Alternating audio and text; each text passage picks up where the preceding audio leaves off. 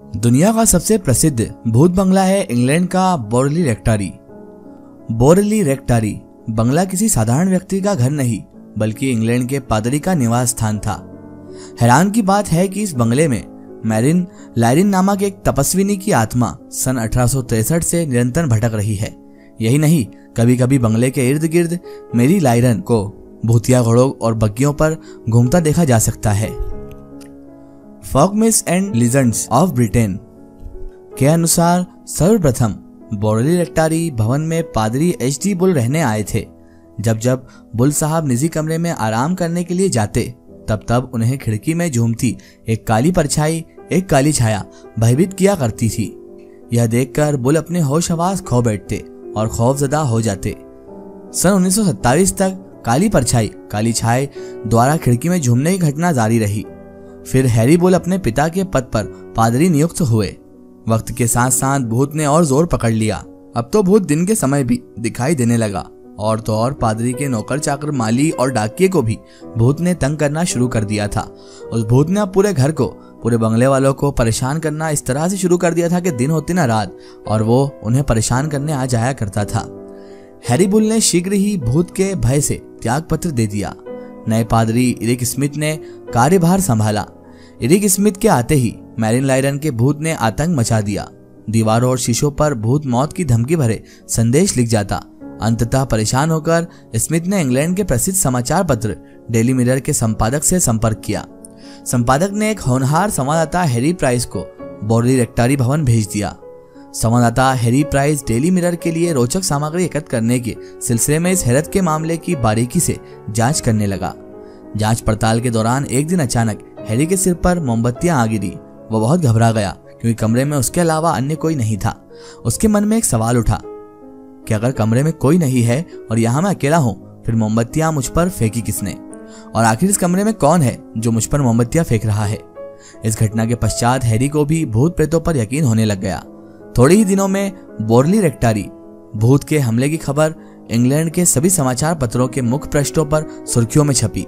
सारे न्यूज़पेपर्स ने front page पर ही इसकी खबर दी कि बोरली रेक्टारी पर भूत का आवास है। प्रेत आत्मा के दिनों दिन बढ़ते आतंक से पादरी एरिक स्मिथ बहुत ज़्यादा परेशान हो गए। उन्हें भी अब डर लगने लगा कि यहाँ पर तो ढेर सारी प्रेत आत्माएँ हैं और इनके प्रकोप से कौन बचा सकता है हमें? इसलिए वो भी बहुत ज़्यादा परेशान हो गए और परेशानी में आकर उन्होंने भी फैसला कर लिया कि वहाँ चले जाएँगे। और आखिरकार उन्होंने भी पादरी के पद को त्याग कर भूत से मुक्ति पा ली। फिर रिक्स स्मिथ की जगह, लाइनर फॉरेस्टर, अपनी धर्मपत्नी, मरीना सहित बोरली रेक्टारी बंगले में पधारे। सन 1930 से 1934 के बीच, बंगले की सभी दीवारों पर मारिना फॉरेस्टर के नाम पेंसिल से भूत द्वारा संदेश दिखे जाने लगे। दीवारों पर स्पष्ट अंग्रेज़ी भाषा में लिखा होता, जिसका मतलब था, मरीना, मेरी सहायता करो।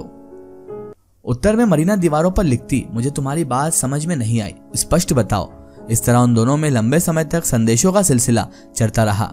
मरीना और भूत के बीच परस्पर लिखित संदेशों को ध्यान में रखते हुए कुछ लोगों ने मरीना फॉरेस्टर पर भी शक किया कि शायद यही सारा माजरा कर रही है और ये बंगले पर इसी ने ये भूत वूत का ढोंग रचा रखा है। इसी दौरान संवाददाता हैरी प्राइस के मन में भी भूत बंगले के रहस्य को जानने की जिज्ञासा बढ़ने लगती है। सन उन्नीस में उसने दोबारा छानबीन के उद्देश्य से बोरली रेक्टारी एक साल के लिए किराए पर ले लिया। एक दिन लायरन का भूत साक्षात प्रकट हो गया।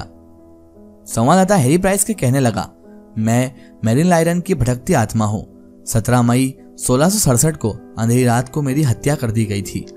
मेरी लाश को बोरली रेक्टारी के मैदान में दाह संस्कारों के बगैर ही दफना दिया गया, अतः मुझे मरकर भी शांति नहीं मिली। इस घटना के पश्चात 27 मई 1938 को एक और आत्मा प्रकट हुई और बोली, आज रात यह बंगला जलकर खाक हो जाएगा।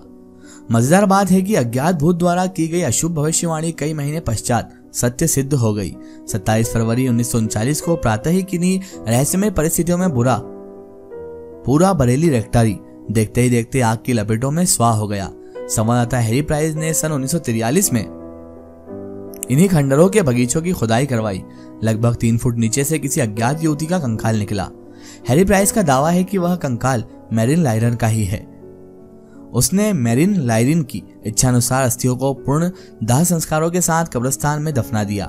बहरहाल, भूत बंगले के शेष खंडरों में आज भी मेरिन लाइरिन का भूत घूमता नज़र आता है। बोरी रेक्टारी बंगला पूरी तरह खाक हो जाने और मेरिन लायरिन की इच्छा अनुसार दफनाए जाने के बावजूद, पिछले सवा सौ सालों से भूत का भटकना एक रहस्यमयी पहली बनकर आज भी वहाँ पर घटित हो रहा है। आज तक कोई पता नहीं कर पाया कि वहाँ पर आखिर किसका भूत है और वो क्या चाहता है। और आखिर वो आत्मा हम लोगों से क्या चाहती है? इंसानों के बीच वो आत्मा क्यों रह रही है और उसको अभी तक मुक्ति क्यों नहीं मिली? आखिरकार वो उस बंगले में क्या कर रही है और उसकी हत्या किस तरह से की गई और कैसे की गई? ये राज भी उसी के साथ दफन हो गया।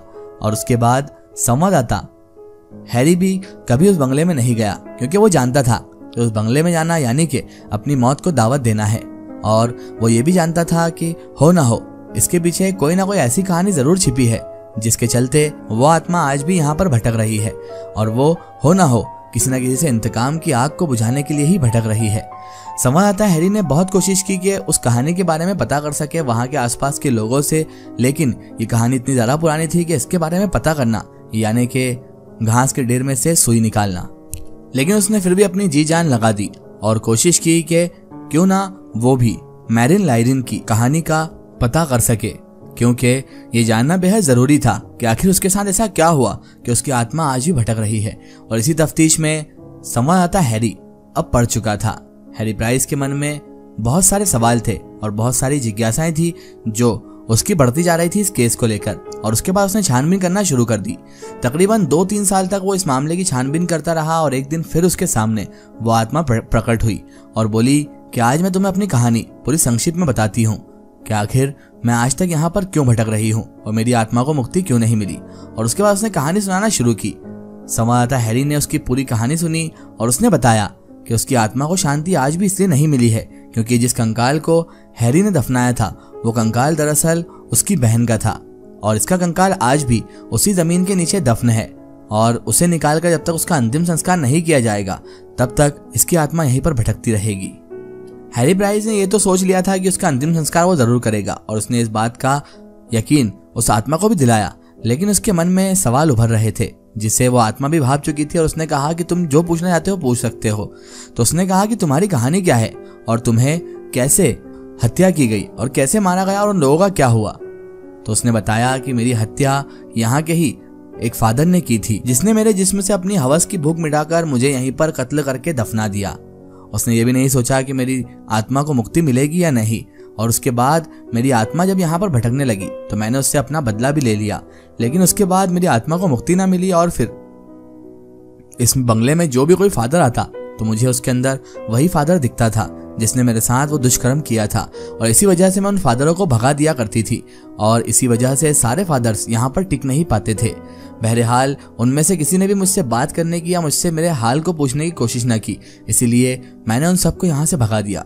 एक तुम ही थे जिन्होंने तफ्तीश करने की कोशिश की कि मेरे साथ आखिर हुआ क्या है। इसलिए मैं तुम्हारे सामने प्रकट हुई और तुम्हें सारी कहानी बता रही हूँ। अगर इंसान को बेमौत मार दिया जाए और उसका अंतिम संस्कार सही से ना किया जाए तो उसकी रूह हमेशा के लिए यहीं पर भटकती रहती है। और उसके बाद अचानक से वो आत्मा वहाँ से गायब हो गई। संवाददाता हैरी प्राइस ने उस ज़मीन को फिर से खुदवाया। उसे एक कंकाल महिला का और मिला और उसने फिर उसको दफनाकर उसका अंतिम संस्कार किया। और इस तरह उसकी आत्मा को शांति भी मिल गई।